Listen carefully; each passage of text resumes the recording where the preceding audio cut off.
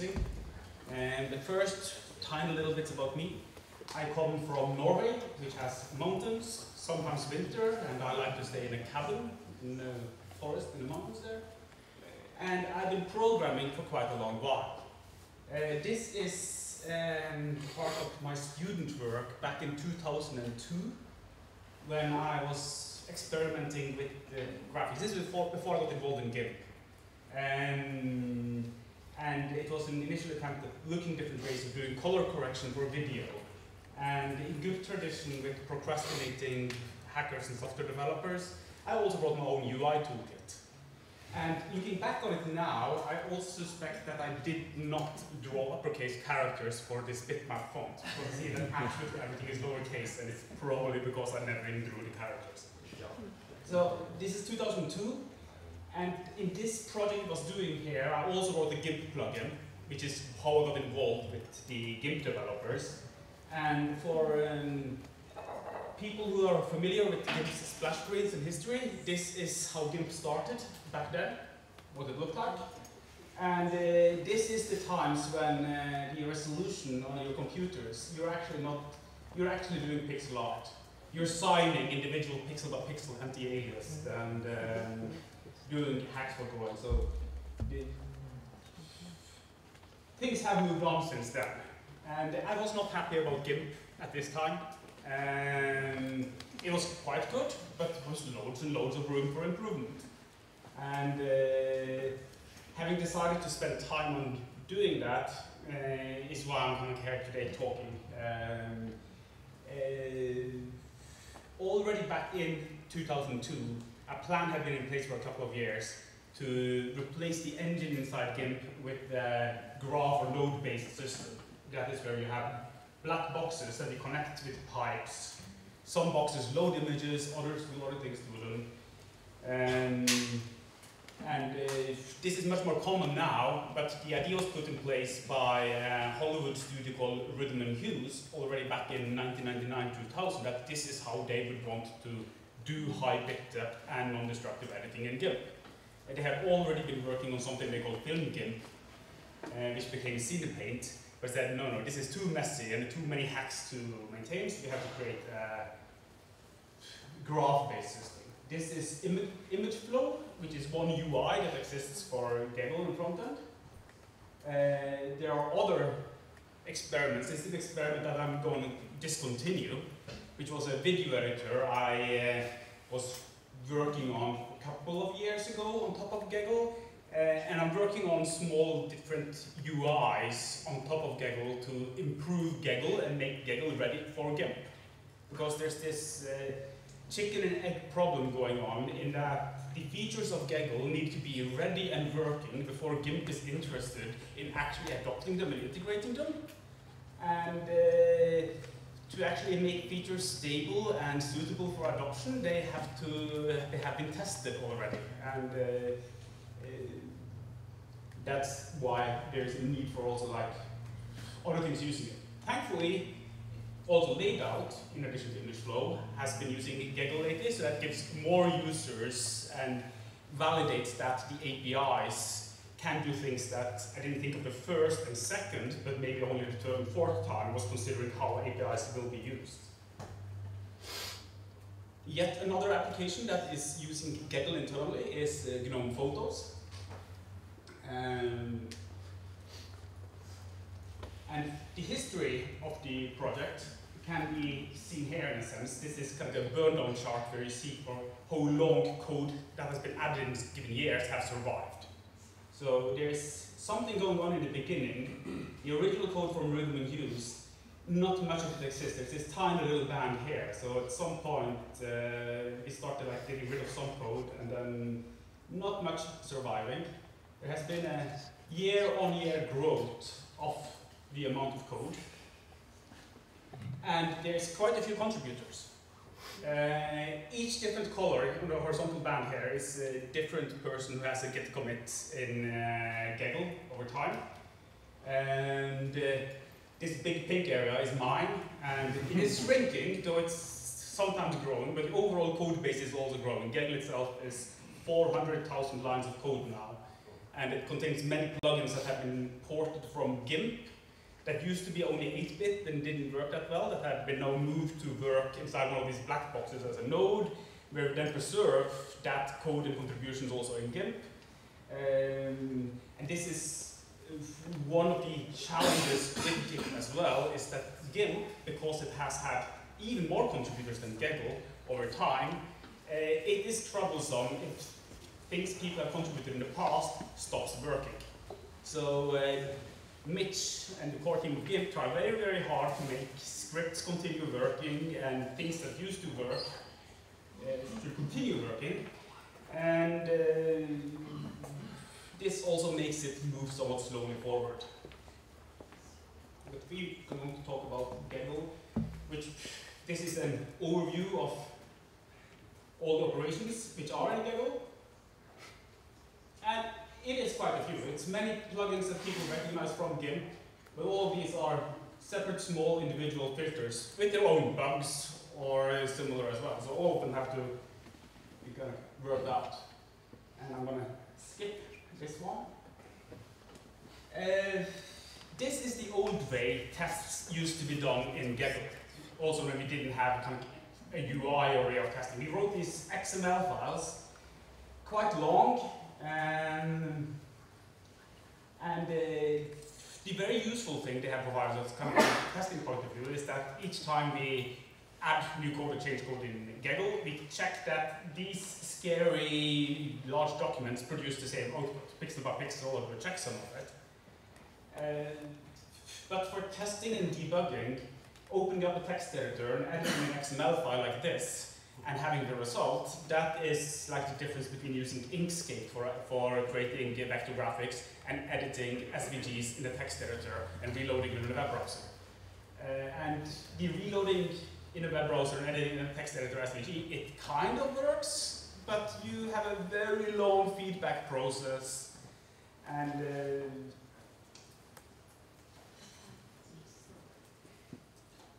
why does this not behave like I wanted to? Mm. I unfull screen.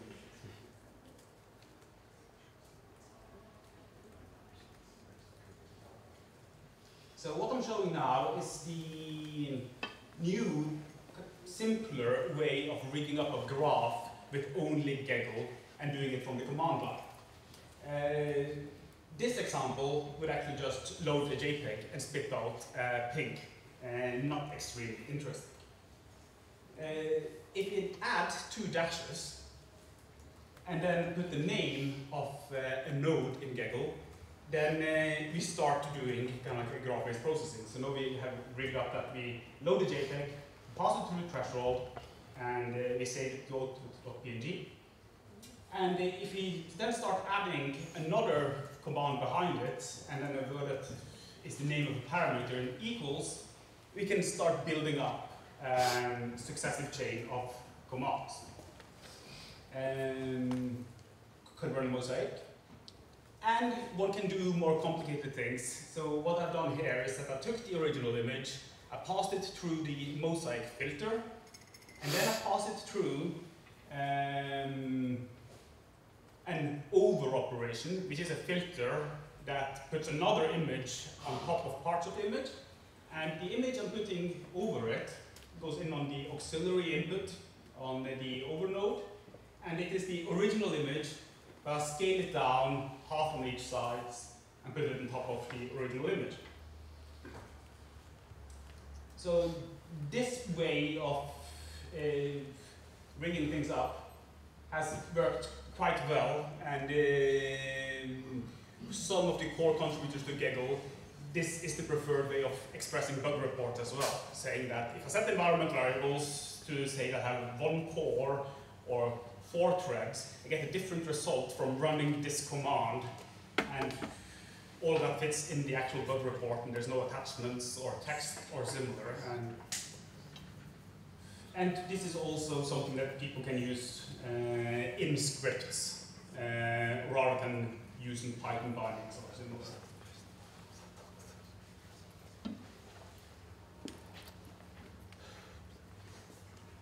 The syntax that is used in um, this thing also is available inside GIMP as a filter called GEGL Graph. And I'm just going to remove everything here. So if I just write threshold, I'm sorry that the font here is quite small, then uh, I'm writing the exact same syntax that was showing on the command line earlier, but now I'm doing it in a live editing here. So threshold, value, and I get this eq Wilber telling me that something is wrong. It says that there is no such operation. I say value equals 0 0.5 or 3, 2,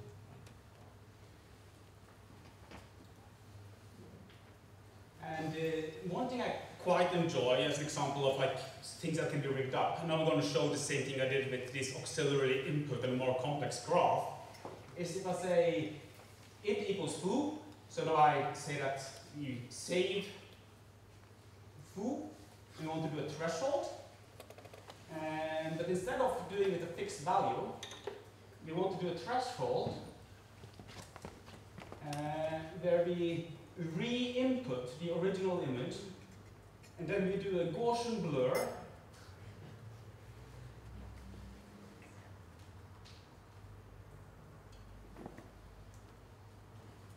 and we increase. I should have used a smaller image for this, but um,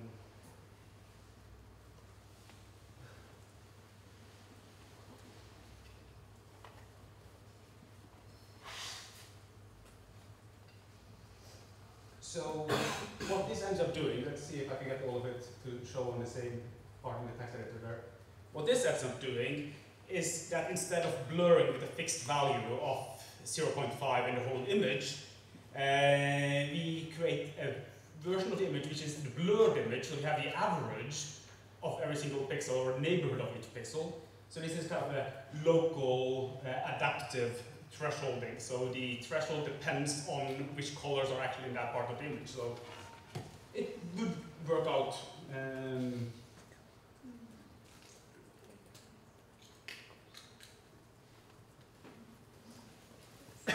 and yeah, this image is quite large. So with the default settings of Mosaic, and Mosaic uh, used to work in the old pixel pushing, pixel art days of GIMP we don't actually see the filter. So if we zoom in, we end up seeing uh, what this is doing. But okay, um, I'm going to jump out of GIMP again. And here's an example of um, one bug report from one of the uh, big QA contributors to GIMP and GEGL, Massimo. And uh, this is not the WR, this is just the email I have received, but it's just saying that, yeah, these commands produce different results with uh, eight threads or one thread, and it also identifies where the actual problem is. But this is a lot more helpful than um, uh, the way we used to do things. Getting used to have a UI before as well. Um, so this is a screenshot of how that used to look at some point. This is how it used to look when we had uh, also spiral curves possible to edit to kind of directly. It had both Bezier handles and other types of curves. Uh, it so happens that the program I'm actually using for a presentation here is also the GEGL binary. It's an image viewer. I've been doing a little bit of zooming in and out. Um, but I could also write threshold uh, value equals 0.5 and uh, then we get something similar to what we had. And uh, I can open up um, and look at, ah, I'm not going to do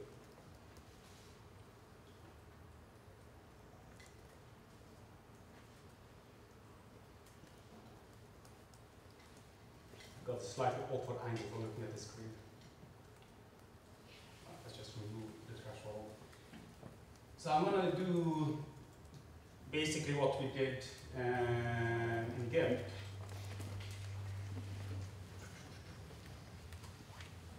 threshold, um, and connect this output there and do a Gaussian blur.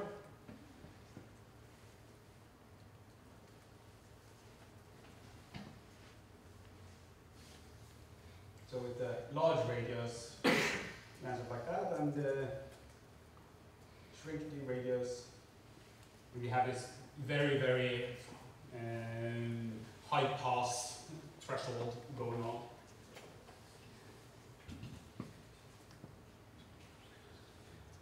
And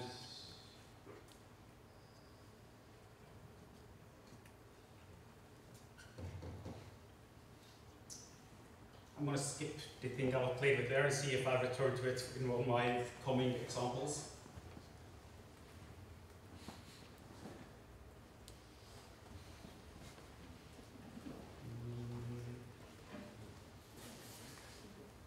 Going to do another example on top of this and show a way to do something else.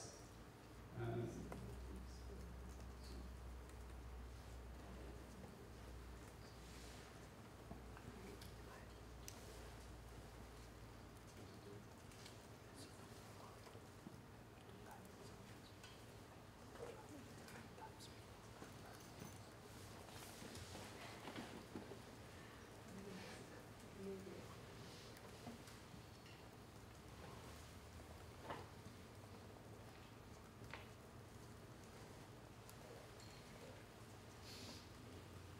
So the commands I'm typing, they apply to the active node. So if I have crop focus there, I can say width equals uh, 4000 and uh, height equals 3300. Um, but the crop tool also has its own on UI uh, control handles, as does this linear gradient. So I can adjust where those endpoints are. Uh, this is very, very experimental, and um, the way that these on-canvas control tools work is um,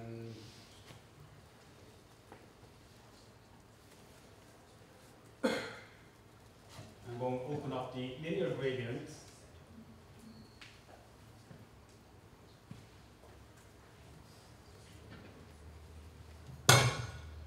each time this GEGL image viewer editor UI is um, re-rendering its frame, it um, reinterprets also um, this whole file. Uh, I'm going to be very evil and just remove the end points so we cannot edit one side of the gradient. And UI even updates live, so changing the source code uh, changes what the UI is doing. I don't have to recompile or do any of those parts. And that is interesting, and uh, the UIs I have here, this is a tiny little self-contained file which only is manipulating one node, and I do think that we could do the same thing in GIMP, so that we end up having this tiny small Lua scripts that provide the interactive vector editing on the canvas, that are only manipulating one small part of the graph or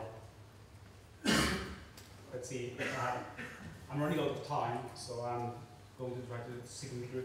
I was going to talk about space invasion which is the adding of the new RGB spaces to GIMP I'm going to skip through there a bit and show another kind of fun thing in this uh, image viewer.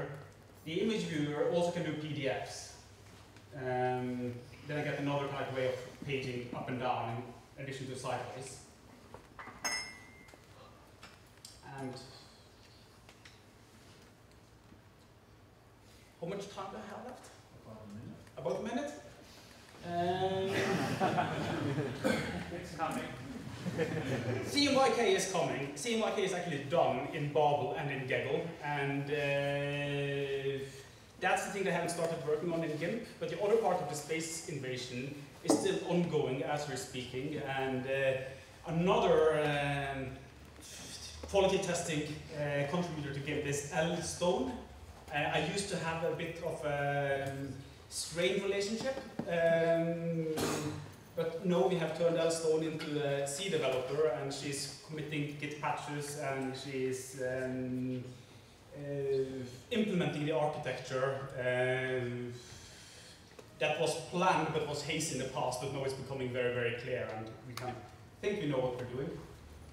Um, and I think I'll skip a bit ahead here and show that uh, GEGL can do video as well. And um,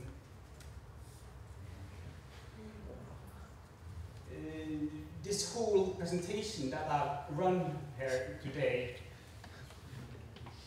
uh, the way I've done it is to actually override the order of the files in the folder as well. And I allow files to occur multiple times. So instead of seeing this folder as the place you just put your files, it's actually an edit decision list or a playlist. Uh, I have metadata here for dealing with inner node points of clips, etc. So the killing of this gcut video editor, it was all of that functionality moved into this image editor. I think we have to stop there.